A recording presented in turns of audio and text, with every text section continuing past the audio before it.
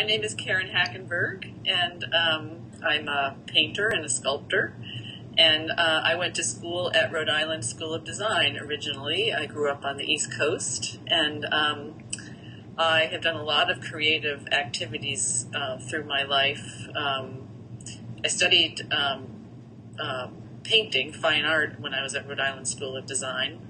But then um, in my early years, in my 20s, I, I did a lot of various creative things. I did architectural model building. I was a textile designer for a while, went back to school and studied that. And then came back full circle and um, ended up starting painting again. Um, I'd say about 15 years ago, seriously. I, I, tend to notice things that are out of place, um, but then I also notice how our human nature is that we don't want to see what, what the garbage that's there. I, I came across a, um, a, Tide bottle washed up um, against the bank, and I was pondering, well, why why is it that I don't I'm not interested in that Tide bottle?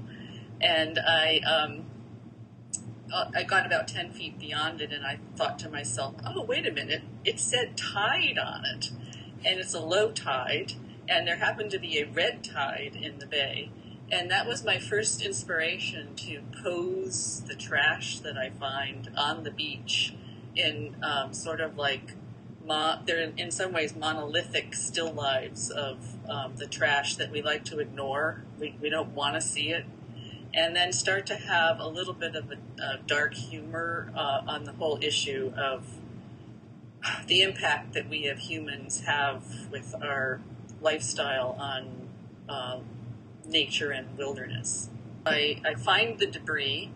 Um, when I'm walking, I, I carry a bag with me and kind of collect stuff and then muse about some of the ironies. Sometimes they're very obvious, and I sort of uh, I, I, see a, a, hidden message in the packaging or in the label or in the item, and and it's it's um, seeming out of place there and then I will either pose the item right then and there, like depending on where the tide line is and the opportunities or the amount of time I have, and then take a whole series. I take a ton of photos because it's sort of hard. I get down very low on the beach, so these objects look really gigantic, and um, because I want them to be very big, like the opposite of how we like to see them as this little thing to bring attention to them.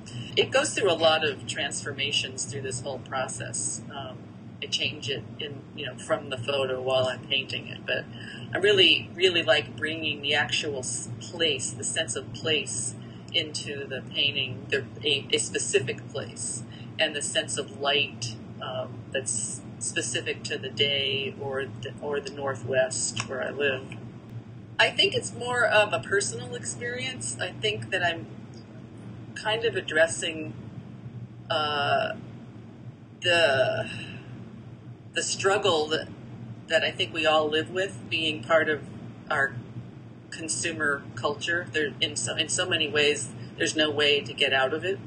Um, everything, without becoming a complete aesthetic, everything that we use is comes in some sort of packaging and the dilemma of going to the grocery store and trying to figure out how to buy what it is that we want to eat without contributing. And it's been a frustration and an exasperation, and I've had a lot of angst about it all my life. So I started from a personal experience. I kind of, in some ways, purposely didn't collect, connect with the um, scientific um, community um, because I wanted it to come from my personal observation. But then, um, interestingly, from that, I find that I find things on the beach and think about it and muse on the ironies and the messages. And then I'm led to do kind of um, pseudo research. Like I find things that I don't know exactly where they come from, even though they might be a product that's common to um, regular um, American life. People um, engage in the dark humor and they really appreciate it and enjoy it and they like um, i mean they're concerned about the issue as well and they appreciate um, the way i approach it with as much of the lightheartedness as you can with the subject matter. I find that my best way to communicate is visually, and I've just ma- I've made a choice that since that's my skill, like where I really am strong, I've made a choice to use that skill um, that works on many levels. It works for me creatively. I get I have enjoy the ex- meditative experience of making the piece.